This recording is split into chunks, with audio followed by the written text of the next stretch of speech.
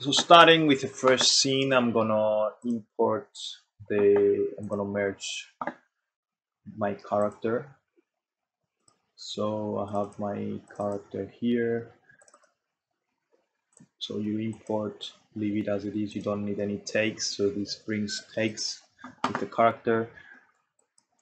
My character now it's in uh, A pose and I'm ready to the first thing we need to do is define it and this character needs to be able to, to create a control rig after that. So um, you bring your character in then you go here on the right side and you, you need to define it. So define skeleton. Let's open up our def definition. I need to define the bones. So what I'll go now if if I select the bone, the hips, I'll be able to right click on the hips and assign it. I'll do the same for legs. Yeah, you're gonna be able to, so you it's, it's mirroring and then you can go to the legs as well and toes. If you have fingers, you can add fingers to your character it's perfectly fine. You can use, I will use the reference here. Just type the reference. So you can add spine. Bring in and you go to assign more spine.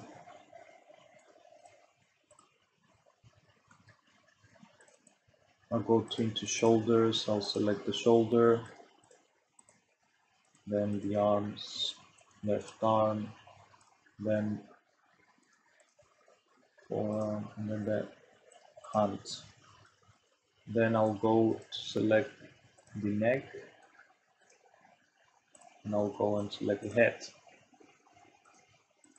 So I'll select the head. So if you have fingers, you can, uh, obviously we need the fingers, so I'm gonna need to go through and do the fingers so this needs to be assigned here. Make sure you select the right correct bones for every for your when you assign the bones you need to be careful. So I'm gonna um, select all the bones of the ring and index.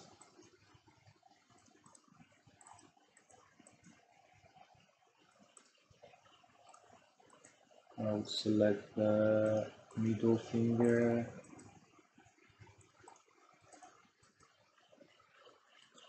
The ring.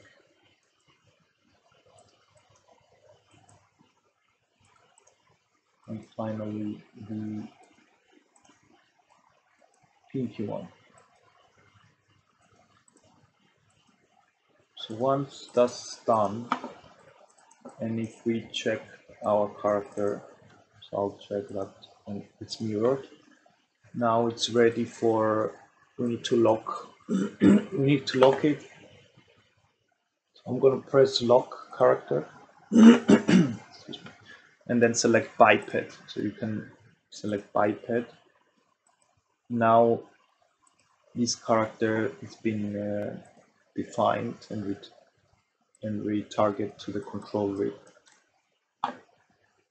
So I'm gonna go and select if you find the control rig here, the characters, I'm gonna be able to rename these as my character.